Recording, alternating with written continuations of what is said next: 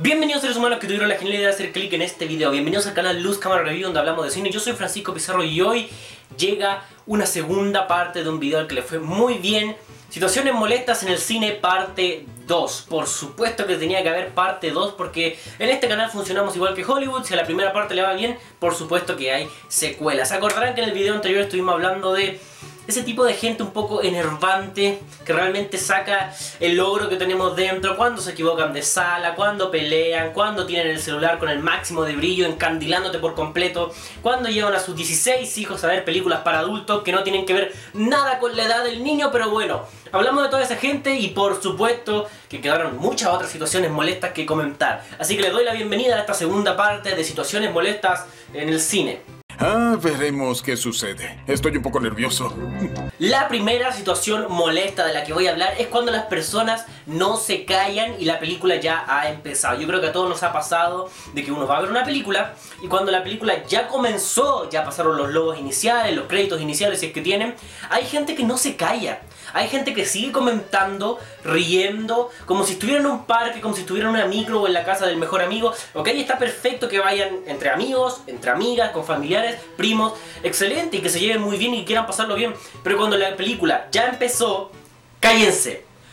Cállense la maldita boca, la película ya empezó, no hay por qué estar conversando, para eso tienen después de ver la película, ahí conversen, ahí pártanse el culo de risa, no me interesa.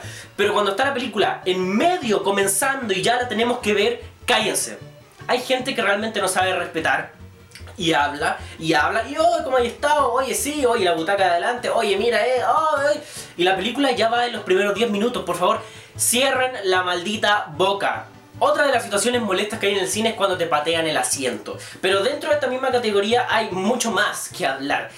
Hay veces en donde pues llegan personas que creen que el cine es un puto picnic y claro, vienen con cinco potes de palomitas, con cuatro bebidas, una pizza, un completo, porque claro, a eso uno va al cine, no a ver la película, a comer obviamente, a un picnic familiar de mierda, por supuesto. Entonces, la gente va toda cargada, así no puede más, ni siquiera puede ver hacia adelante y de repente te empujan el asiento, porque hay veces en donde el mismo cine es bastante estrecho entre asiento y asiento las filas, entonces lamentablemente te lo empujan, uno ve y dice, ya, ok, este desgraciado, desgraciada va con un montón de cosas, es entendible que no pueda ver, se le perdona, además que los asientos igual tienen poca distancia. Pero hay veces donde toca el infartante, el desgraciado, el hijo de... el maldito niño que te patea el asiento una y otra vez. ¡Qué maravilla! Es una maravilla, es una experiencia maravillosa que me encantaría pasar cada vez que voy al cine. Santa Madre de Dios, desgraciado, qué desgraciado hay que ser.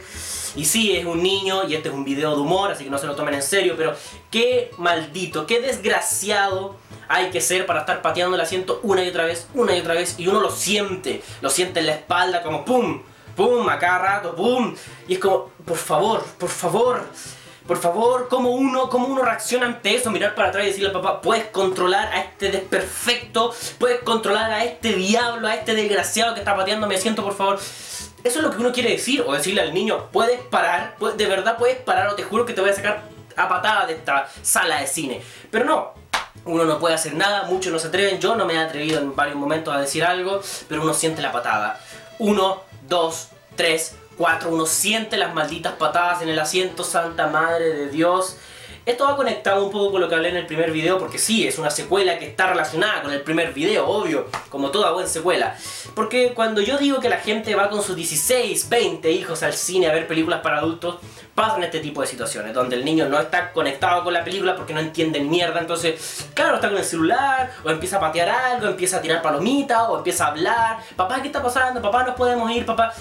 Esa es una consecuencia real de llevar a tus hijos a ver una película que no son para ellos.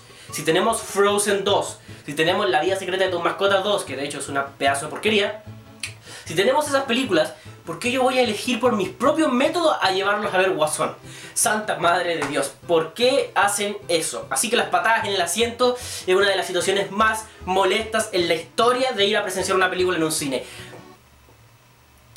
Y otra de las situaciones molestas que pasan en el cine son con este aparatito de aquí. Los celulares. Ya dije que hay personas que pues no tienen ningún respeto por el prójimo y se ponen a ver, ah, vamos a ver WhatsApp cuando la película va en la mitad, ah, vamos a ver las noticias, a ver qué estará pasando en el mundo ahora que estoy viendo una película en el cine, a ver si, mm, y con todo el brillo para encandilarte. Maravilloso, hijos de... Pero, pero, de los que vengo a hablar hoy día es de las llamadas. Porque sí, no basta con que te digan dos o tres veces antes de iniciar la función que apagues tu celular o que lo dejes en silencio o que lo dejes en vibración por último. No. Aún así, en medio de la película, en el momento más importante, suena un celular. Por supuesto, siempre va a pasar en la historia del cine, va a pasar que suene un celular. A mí nunca me ha pasado, gracias a Dios, porque yo entiendo lo que es ir a un cine, entiendo lo que es respetar la película. Pero está bien, vamos a ir por partes. Es cierto de que hay veces que hay una emergencia, hay una emergencia y uno está esperando una llamada. Y en ese caso, ¿por qué yo iría al cine justo cuando hay una emergencia? No tengo ni la menor idea, pero bueno.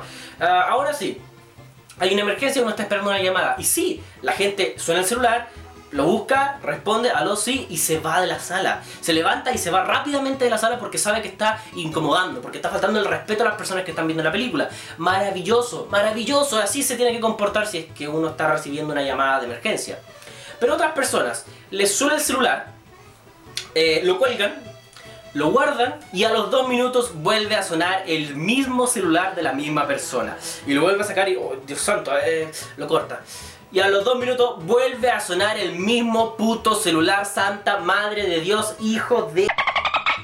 Santa Madre de Dios, qué falta de respeto, qué enervante, qué ganas de pegarle con un palo en la cabeza a ese tipo de persona.